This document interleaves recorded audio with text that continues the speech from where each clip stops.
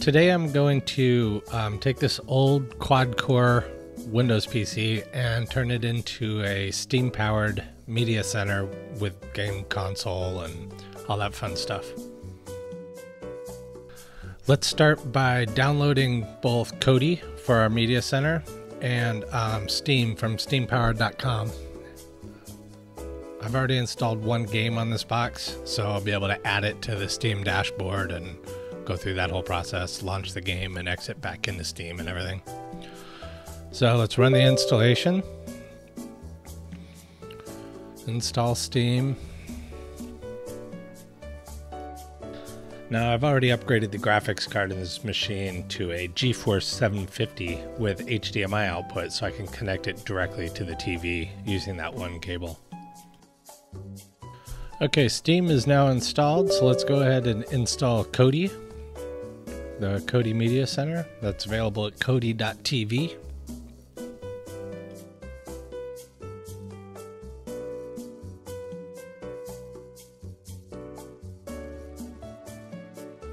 Now we're going to go ahead and log into Steam using your Steam account or create one if you don't have one.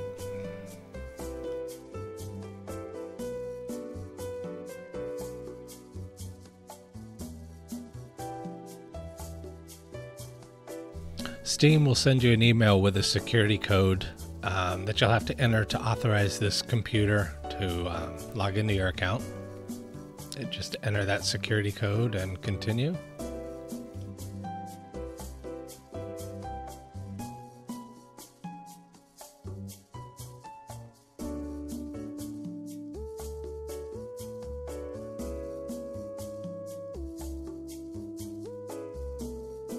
I've already connected my Xbox 360 uh, wireless gamepad and wireless receiver to this computer, and the driver's loaded. So now we'll go ahead and launch Steam in big picture mode by right clicking on the icon down here and clicking big picture.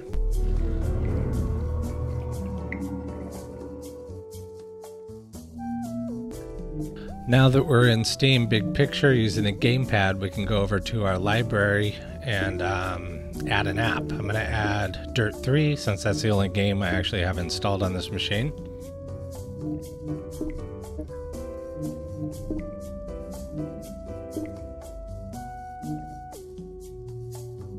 I'm also going to add Kodi to the um, big picture dashboard here.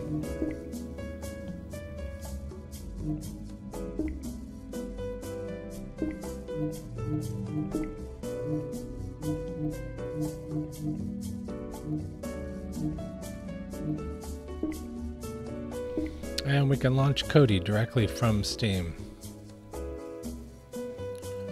Now, the first time you run it, you're going to have to grant it access to connect to the network. Um, it's good to have a mouse and keyboard connected for this part. Kodi natively supports navigation using the um, Xbox 360 gamepad that I've installed. So we can bounce around and exit and go right back into Steam. Now we'll go ahead and launch our game.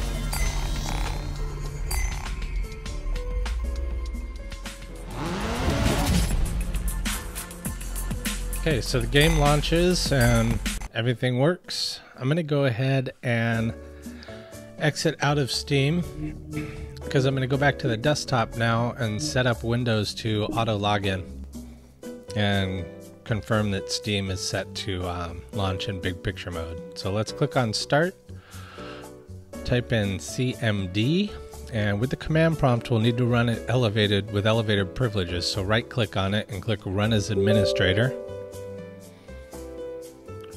And now we'll type control and then a space user passwords 2. And this will give us the advanced um, user control panel applet. Okay, come on. Now we will uncheck the box that says users must enter a username and password to use this computer. Then click apply and it's going to prompt you for the user and password that you want um, to automatically log on to the machine. So enter your password here, click OK, and OK again, and that's it. Now the machine will automatically log in with that, use, that user account. Now let's make sure Steam is set up to start and log in automatically. So enter your password. You definitely wanted to remember the password here.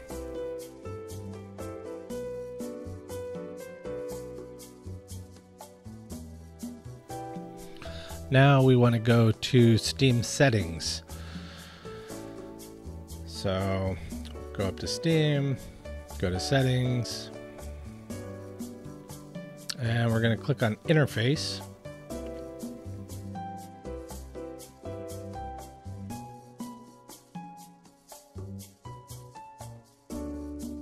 And we want to enable run Steam when my computer starts and start Steam in big picture mode. This will allow the machine to boot up, automatically log in since we already set that up in the user control panel applet, and it will launch Steam directly into big picture mode.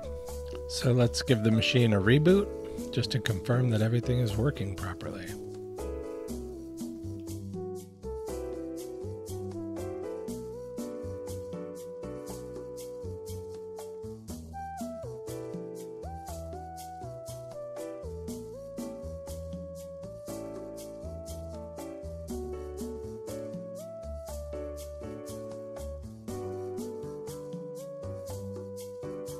You should see the machine log in your user automatically.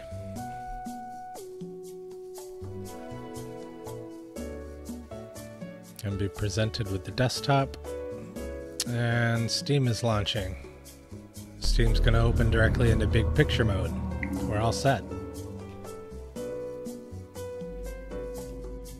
That's really it for setting up your machine. Now, any games you install at the desktop, um, you can just add by going to your library and clicking that plus.